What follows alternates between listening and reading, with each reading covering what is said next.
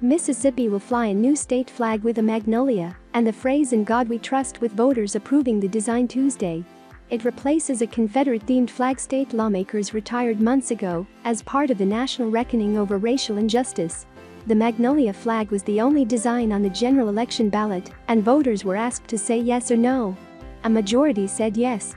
Legislators will have to put the design into law, but they are expected to do that with little fuss because they already did the hard work of retiring a flag that some people wanted to keep.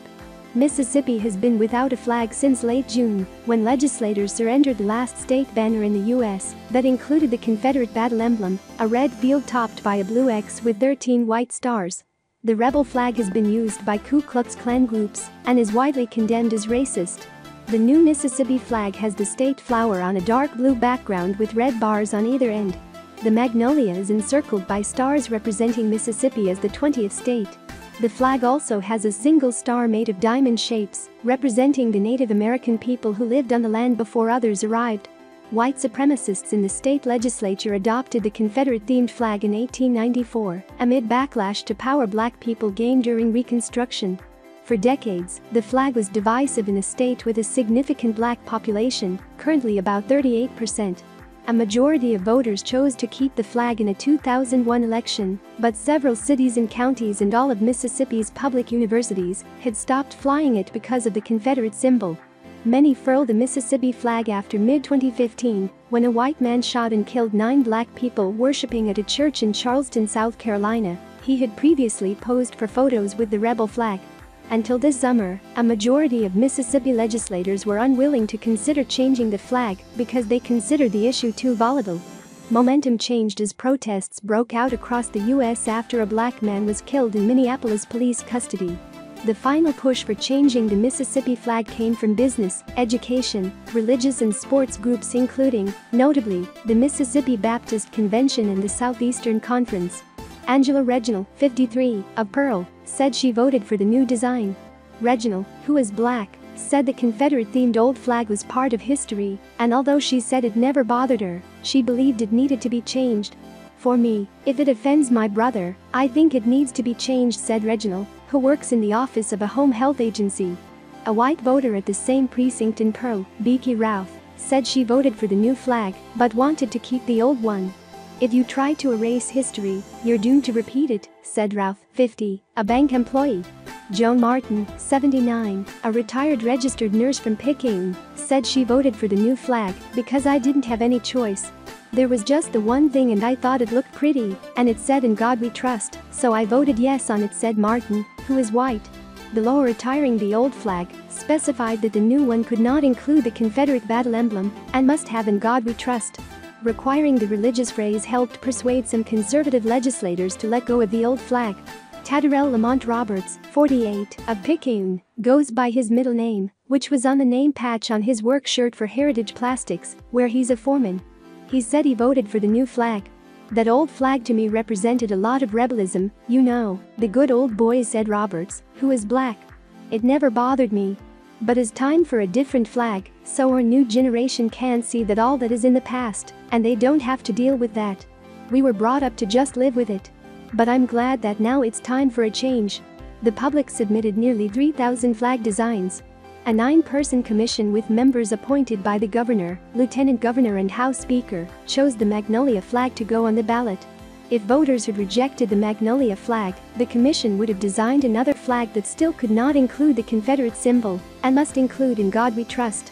That design would have gone on the ballot in November 2021. Separately, supporters of the old Mississippi flag are starting an initiative that could revive the old flag by putting the Confederate-themed banner and some other designs up for a statewide vote. But they face big hurdles in gathering enough signatures to get their ideas on the ballot, and their efforts could be complicated by limited public interaction during the coronavirus pandemic. The Magnolia flag was the only design on the general election ballot, and voters were asked to say yes or no. A majority said yes. Legislators will have to put the design into law, but they are expected to do that with little fuss because they already did the hard work of retiring a flag that some people wanted to keep. Mississippi has been without a flag since late June, when legislators surrendered the last state banner in the U.S. that included the Confederate battle emblem, a red field topped by a blue X with 13 white stars. The rebel flag has been used by Ku Klux Klan groups and is widely condemned as racist. The new Mississippi flag has the state flower on a dark blue background with red bars on either end. The magnolia is encircled by stars representing Mississippi as the 20th state. The flag also has a single star made of diamond shapes, representing the Native American people who lived on the land before others arrived. White supremacists in the state legislature adopted the Confederate-themed flag in 1894 amid backlash to power black people gained during Reconstruction. For decades, the flag was divisive in a state with a significant black population, currently about 38%. A majority of voters chose to keep the flag in a 2001 election, but several cities and counties and all of Mississippi's public universities had stopped flying it because of the Confederate symbol. Many furled the Mississippi flag after mid-2015, when a white man shot and killed nine black people worshipping at a church in Charleston, South Carolina. He had previously posed for photos with the rebel flag. Until this summer, a majority of Mississippi legislators were unwilling to consider changing the flag because they considered the issue too volatile.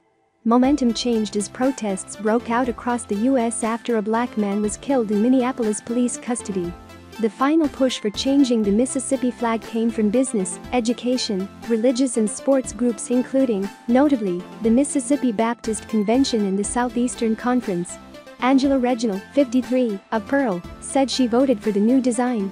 Reginald, who is black, said the Confederate-themed old flag was part of history, and although she said it never bothered her, she believed it needed to be changed. For me, if it offends my brother, I think it needs to be changed said Reginald, who works in the office of a home health agency. A white voter at the same precinct in Pearl, Becky Routh, said she voted for the new flag, but wanted to keep the old one. If you try to erase history, you're doomed to repeat it, said Ralph, 50, a bank employee. Joan Martin, 79, a retired registered nurse from Picayune, said she voted for the new flag because I didn't have any choice. There was just the one thing and I thought it looked pretty, and it said in God we trust, so I voted yes on it said Martin, who is white. The law retiring the old flag specified that the new one could not include the Confederate battle emblem and must have in God we trust requiring the religious phrase helped persuade some conservative legislators to let go of the old flag. Tadarell Lamont Roberts, 48, of Picayune, goes by his middle name, which was on the name patch on his work shirt for Heritage Plastics, where he's a foreman. He said he voted for the new flag. That old flag to me represented a lot of rebelism, you know, the good old boys said Roberts, who is black. It never bothered me, but it's time for a different flag, so our new generation can see that all that is in the past, and they don't have to deal with that. We were brought up to just live with it. But I'm glad that now it's time for a change. The public submitted nearly 3,000 flag designs. A nine-person commission with members appointed by the governor, lieutenant governor and House Speaker chose the Magnolia flag to go on the ballot.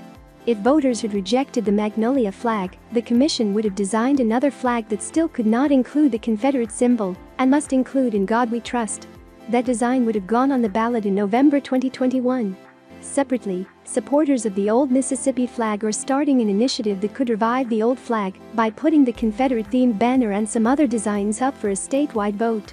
But they face big hurdles in gathering enough signatures to get their ideas on the ballot, and their efforts could be complicated by limited public interaction during the coronavirus pandemic.